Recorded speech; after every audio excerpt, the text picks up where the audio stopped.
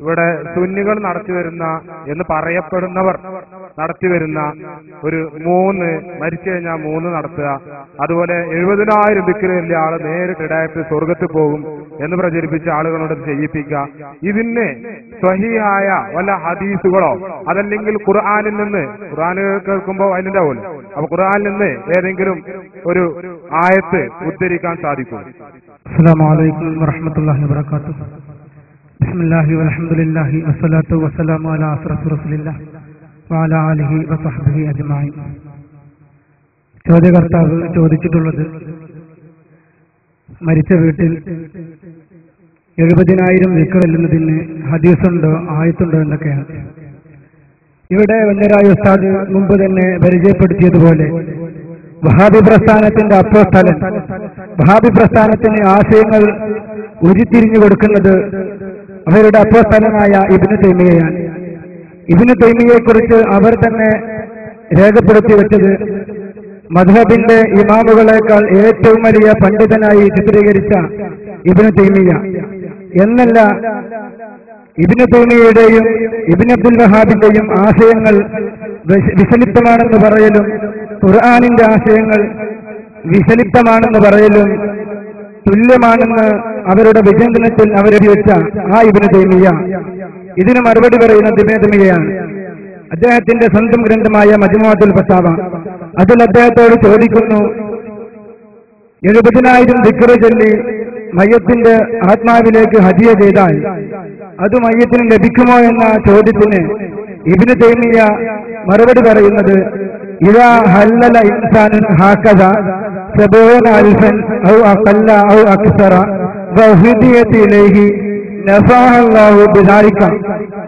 ഇതുപോലെ ഒരു മനുഷ്യൻ എഴുപതിനായിരം ദിക്കറ് ചൊല്ലി മരിച്ച മയ്യത്തിലേക്ക് ഹദിയ ചെയ്താൽ ഇതിന്റെ പ്രതിഫലം പൂർണമായും മയ്യത്തിന് ലഭിക്കുമെന്ന് പറയുന്നത് സുന്നി പണ്ഡിതരല്ല.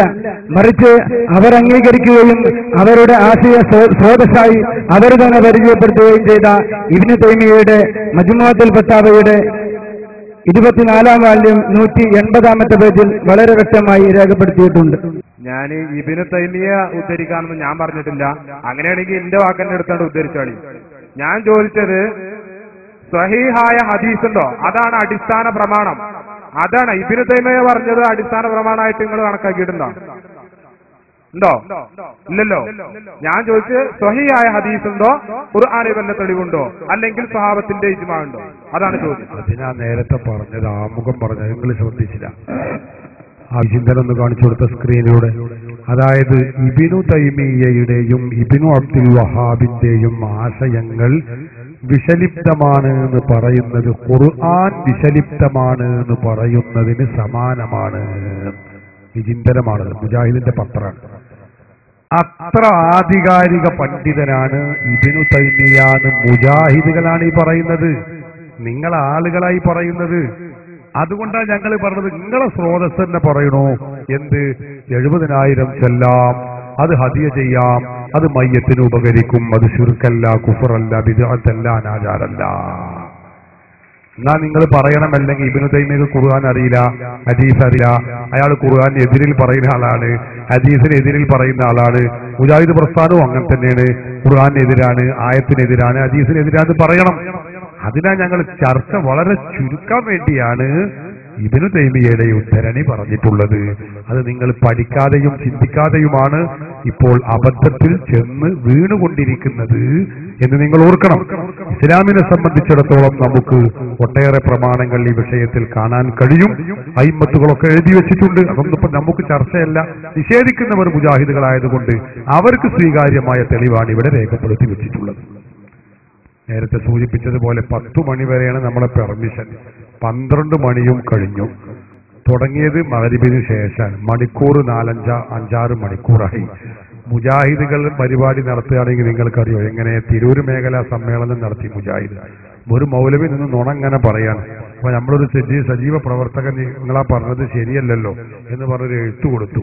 അപ്പൊ അയാൾ വാച്ചിലേക്ക് നോക്കിയിട്ട് പറഞ്ഞു ഇപ്പോൾ സമയം ഒമ്പത് മണി. നമുക്കുള്ള പെർമിഷൻ കഴിഞ്ഞിരിക്കുന്നു. അതുകൊണ്ട് പരിപാടി ഇവിടെ അവസാനിപ്പിച്ചിരിക്കുന്നു. ഈ പരിപാടി പിരിച്ചുവിട്ടതായി അറിയിക്കുന്നു എല്ലാവർക്കും നന്ദി. എന്ന് പറഞ്ഞ് മൂപ്പരനെ പിരിച്ചു വിടുന്നത് മൂപ്പരനെ നന്ദി പറയണത് മൂപ്പരനെ അവസാനിപ്പിക്കണത് മൂപ്പരനെ ഒക്കെ പറയണത്. അപ്പൊ നുണ പറഞ്ഞാൽ പിന്നെ മുജാഹിദിന്റെ സ്വഭാവം അങ്ങനെയാണ്. പറഞ്ഞ സമയം പത്ത് മണി വരെയെങ്കിലും ചെയ്യാൻ അവർക്ക് കഴിയില്ല. നമ്മളെ പരിപാടി തുടങ്ങിയിട്ട് സമയം കുറയായി. നിങ്ങൾ ഓർക്കണം. മണിക്കൂറുകൾ കുറെ പിന്നിട്ടു. നമ്മുടെ അധികാരികളുടെ ഔദാര്യം കൊണ്ടാണ് ഇപ്പത് മുന്നോട്ട് പോകുന്നത്. ഇനിയും അത് അവരെ കൊണ്ട് ശല്യമാക്കുന്ന രൂപത്തിലാവരുത് അതുകൊണ്ട് വളരെ പ്രസക്തമായ ഒന്നോ രണ്ടോ ചോദ്യങ്ങൾക്ക് അവസരം നൽകുകയാണ്. അത് പരമാവധി ഉപയോഗപ്പെടുത്താൻ ശ്രമിക്കണം എന്ന് കൂടി ഓർമ്മപ്പെടുത്തുന്നു. വേഗം ചോദിക്കും.